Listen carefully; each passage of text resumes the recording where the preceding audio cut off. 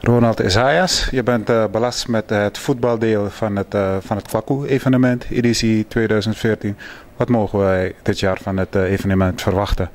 Um, dat klopt. We zijn met een team zijn we belast voor het uh, Kwaku Summer Cup 2014. Um, er zijn een aantal thema's die wij gaan benaderen het komend jaar, de komende editie. natuurlijk is de hoofdmoot voetbal. Dat is datgene waar wij in de eerste instantie onze tijd en energie in gaan steken. Um, en in de tweede instantie hebben wij vanuit de uh, feedback die we gekregen hebben, hebben we gezien dat het thema kinderen onderbelicht was. En daarmee zullen we er zorgen dat we op het terrein heel veel kinderactiviteiten zullen plaatsvinden.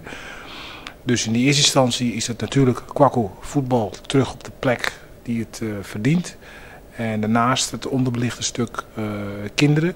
En in het voetbalevenement zelf hebben we een aantal thema's die we willen benadrukken dit, dit jaar.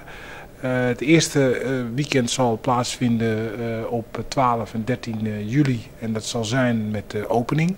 De opening zal op een traditionele wijze gedaan worden door een oud profvoetballer. Eigenlijk een, iemand die in het nationaal Surinaams elftal gespeeld heeft. Uh, voor deze editie hebben we de heer Roy uh, Wouter hebben we, uh, tot onze beschikking. En die heeft toegezegd hier te komen om de aftrap te verrichten. In het tweede weekend dan is het thema is, respect. Um, daar zullen we een aantal aspecten zullen wij, benadrukken waarin wij fair play, respect, etc.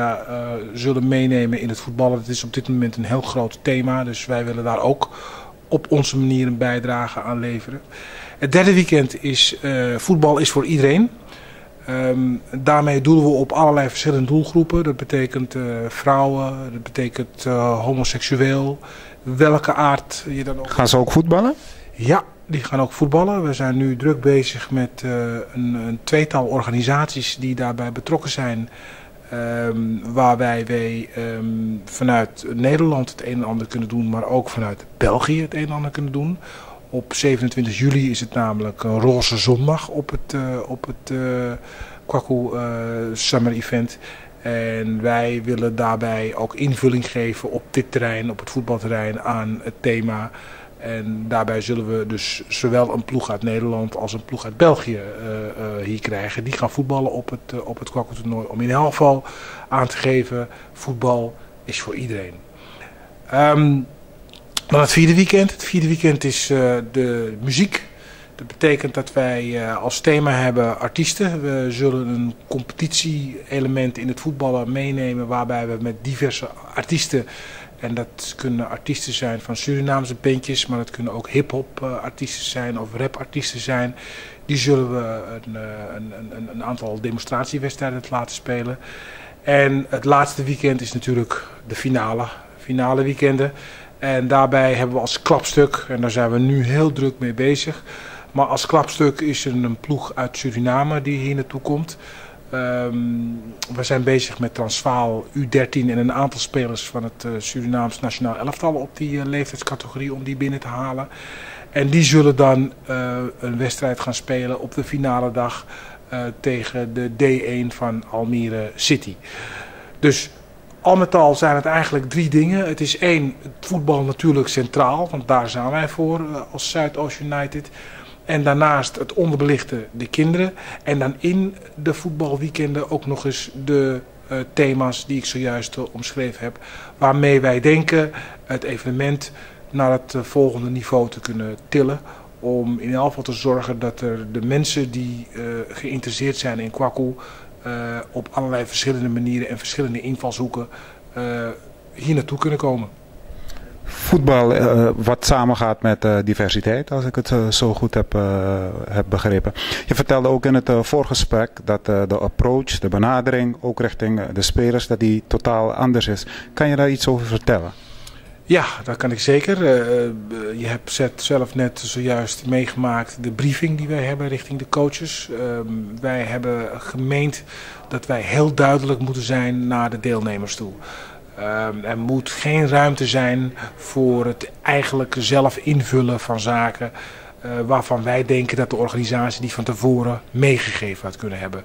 Ehm, zoals ik net al aangaf, we willen naar een ander niveau toe. En dat betekent dus dat we echt ervoor moeten zorgen dat we organisatorisch sterker worden. Daarom hebben we ook die trainers en die coaches erbij betrokken.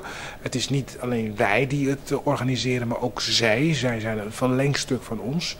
Uh, dus dat betekent dat wij in de, uh, de, de, de afspraken, de richtlijnen die we met elkaar maken over op tijd aanwezig zijn, over hoe we omgaan met het complex en over hoe we omgaan met scheidsrechters enzovoorts, enzovoorts, enzovoorts, heel kort en heel zakelijk meegegeven hebben.